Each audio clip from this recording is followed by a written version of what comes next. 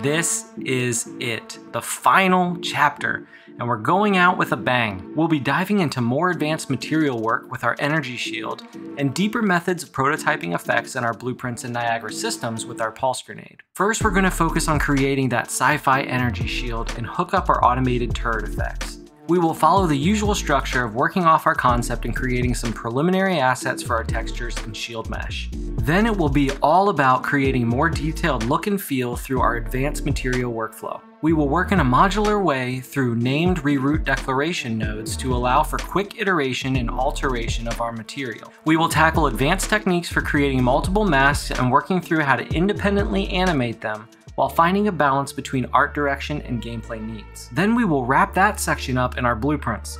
We will work through how to handle proper collision logic and drive certain material parameters through timelines to animate our shield kicking on and off. And of course, we will make sure to hook up all of our effects for our turrets to properly test our shield against enemies. In the final section of this entire series, we will make a really satisfying pulse grenade. We will reuse assets we created in part 2 of the course from our laser beam and plasma blaster effects, don't worry if you miss those sections, you can still follow along.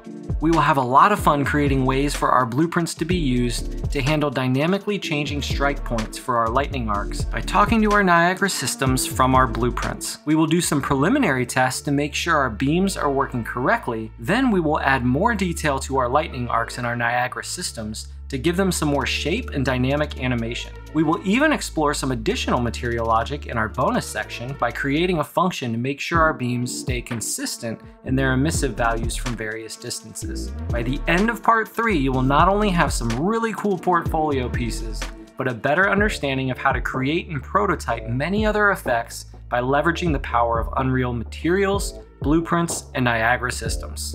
I hope you enjoy this final installment in the series, so jump on in and let's get crafting.